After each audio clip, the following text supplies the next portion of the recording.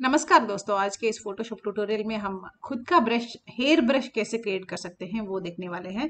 ऐसे तो बहुत सारे वेबसाइट है जो कि दावा करते हैं कि फ्री हेयर ब्रश आप यूज़ कर सकते हैं, आप उसको डाउनलोड करके यूज़ भी कर सकते हैं, लेकिन कौन सा वेबसाइट कब तक फ्री रहेगा ये हम नहीं जानते। तो इसीलिए हम खुद का अगर हेयर ब्रश क्रिएट कर लेते हैं तो कहीं पर भी हम हेयर ऐड कर सकते हैं, जैसा चाहिए वैसा कलर के साथ।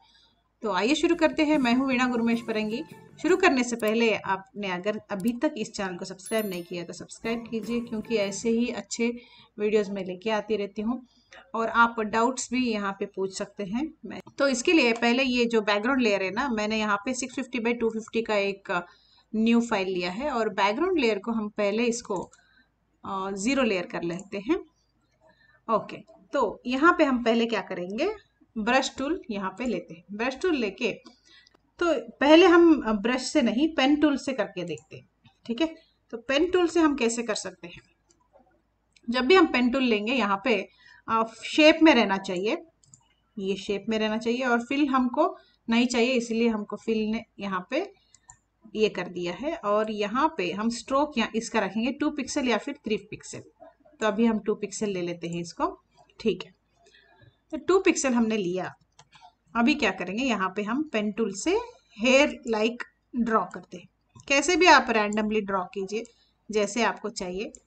ओके ये हमने हेयर यहाँ पे ड्रॉ कर लिया। ऐसे ही हम और, और बहुत सारे हेयर्स ड्रॉ कर लेते हैं।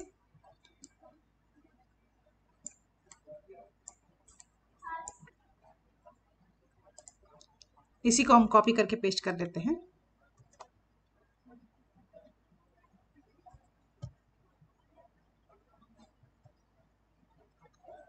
तो ये फ़र्स्ट वाला भी हम कॉपी करके पेस्ट कर लेते हैं। उसके लिए कंट्रोल जे कीजिए और इसको मूव कर दीजिए।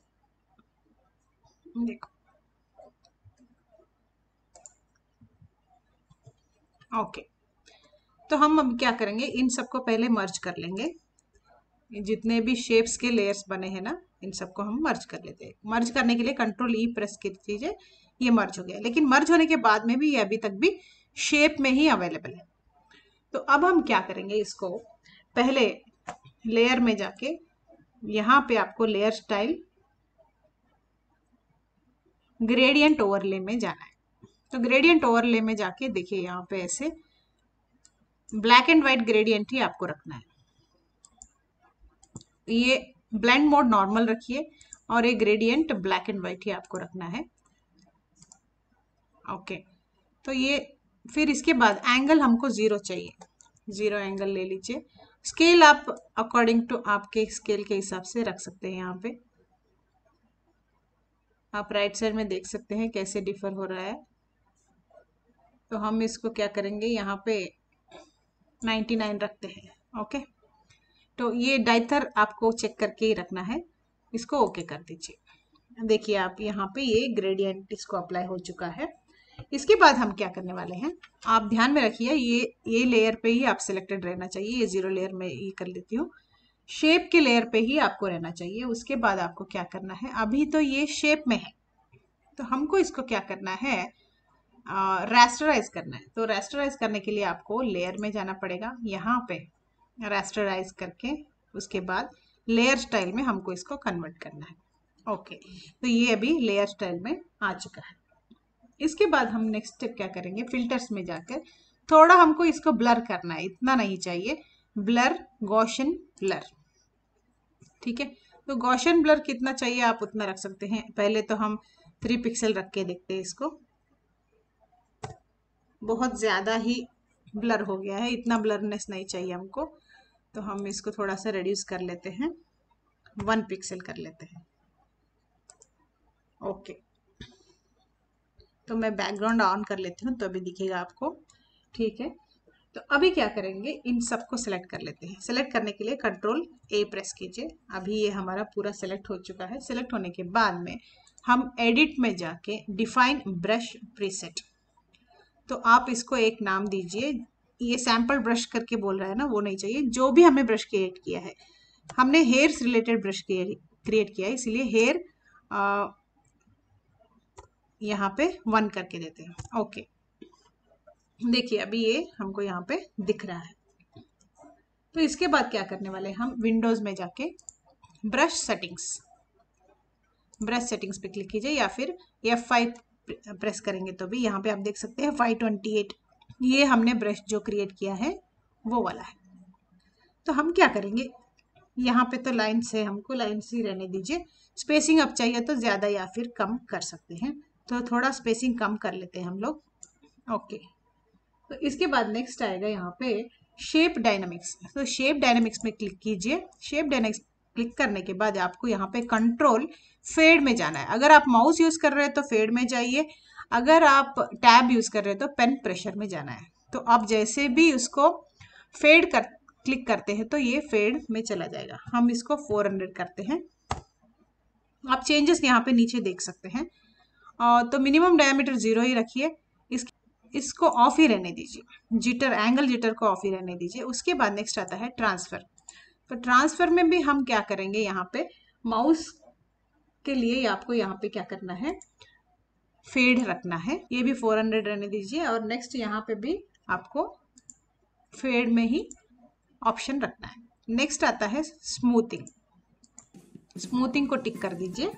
तो ये हमारा ब्रश सेटिंग हो चुका है। अभी इस ब्रश को हमको सेव करना है। सेव करने के लिए आप क्या करेंगे? यहाँ पे लाइंस जो दिख रहे हैं, इसके ऊपर क्लिक कीजिए न्यू ब्रश प्रीसेट तो new brush preset hair one of one करके आ रहा है।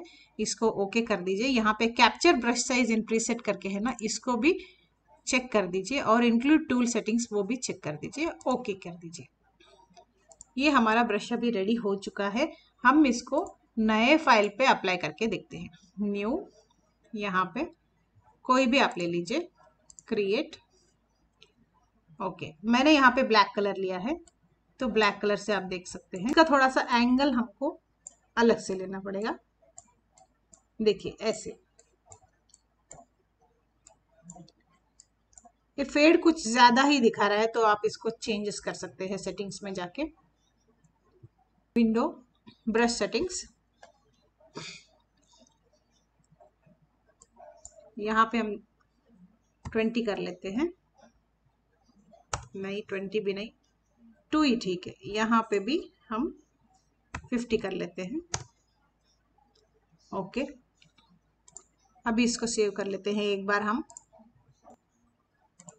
यहाँ पे न्यू लेयर लेंगे हम। Control shift N new layer इसको इनविजिबल करती हूँ मैं। तो इसको बैकग्राउंड कलर वाइट देंगे हम लोग। तो उसके लिए कंट्रोल बैक स्पेस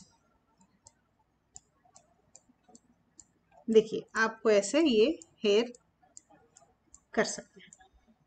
आप फेड थोड़ा डिक्रीज कर लेंगे तो आपको थोड़ा सा डार्क आएगा यहाँ पे। ये फेड के ऊपर डिपेंड करता है कि आप कितना उस तरह अप्लाई कर रहे हैं। तो आपको जैसा एंगल चाहिए, वैसा एंगल यहाँ पे आप ले सकते हैं। ओके लेकिन इसका ड्रॉबैक क्या है? यहाँ पे जो लाइन है ना, वो लाइन वैसे ही रहेगा।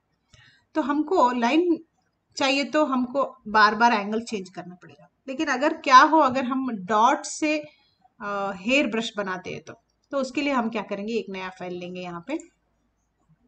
ठीक है? तो मैं यहाँ पे एक नया फ़ाइल लिया है और ब्रश टूल हम लेते हैं। ब्रश टूल में हम नॉर्मल ब्रश लेंगे। ओके ओके इसका साइज़ थोड़ा कम कर लेती हूँ मैं। ओके तो हेयर का साइज़ हमको मालूम है थ्री पिक्सल यहाँ पे ऊपर देख लेते हैं। आप ऊपर देख सकते हैं, यहाँ पे थ्री पिक्सल आ चुका है। थ्री पिक्सल या फिर टू पिक्सल उसके बीच में ही रहेगा। तो मैं इसको कैनवास को थोड़ा बड़ा कर लेती हूँ। यहाँ पे ब्लैक रहना चाहिए, ध्यान में रखिए। तो थ्री पिक्सल से हम थोड़े डॉट्स बना लेते हैं। फिर टू पिक्सल से और थोड़े डॉट्स बना लेते हैं। तो इतने डॉट्स हमने यहाँ पे बना लिए हैं।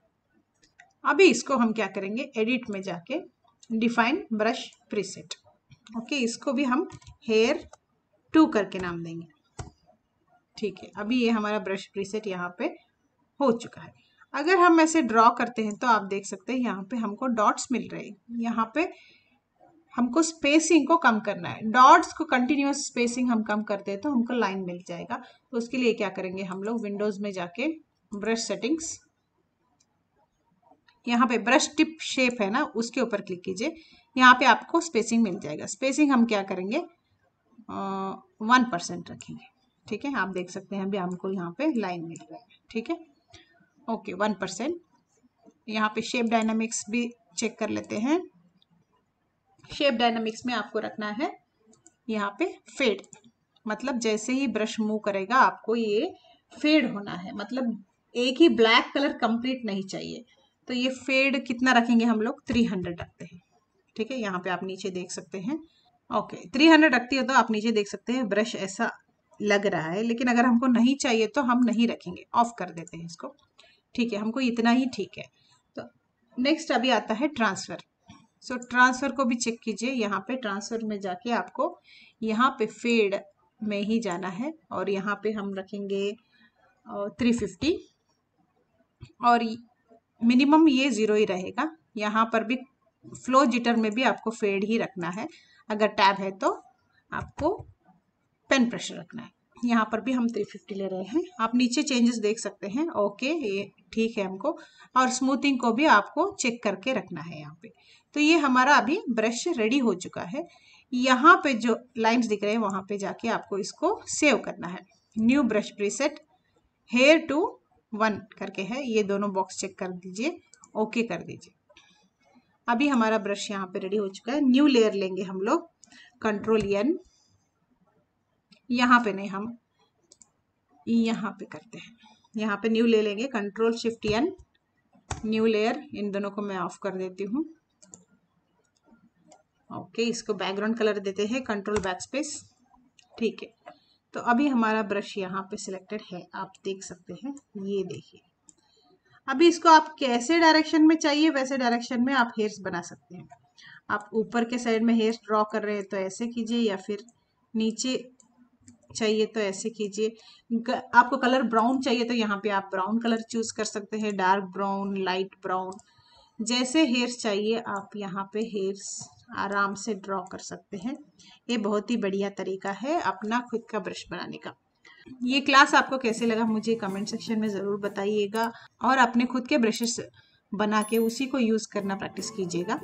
अगर अभी तक आपने इस चैनल को सब्सक्राइब नहीं किया तो सब्सक्राइब कीजिए, शेयर कीजिए और कमेंट भी कीजिए।